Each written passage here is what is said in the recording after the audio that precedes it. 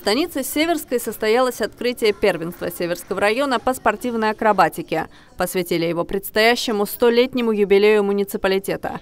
Принять участие в соревнованиях приехали несколько сотен спортсменов из разных уголков Краснодарского края. Городов Геленджик, Темрюк, Краснодар, Динского, Курганинского, Тимошевского районов. Почетными гостями спортивного мероприятия стали прокурор Северского района Евгений Ширяев и заместитель главы администрации муниципалитета Марина Наумейко.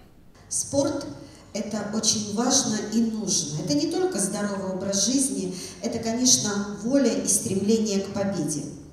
Мы всегда нашими акробатами гордимся, потому что это ребята с сильной волей, стремящиеся только к высоким результатам.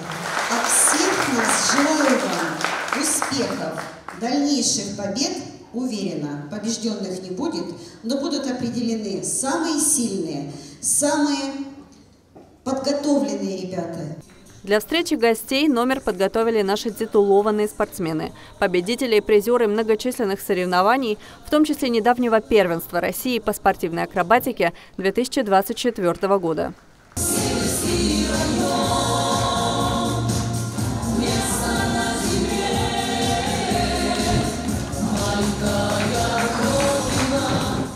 Участникам первенства России вручили памятные подарки, а после, переодевшись, ребята заняли места в жюри. Все они кандидаты в мастера спорта и знают, как оценить конкурсантов.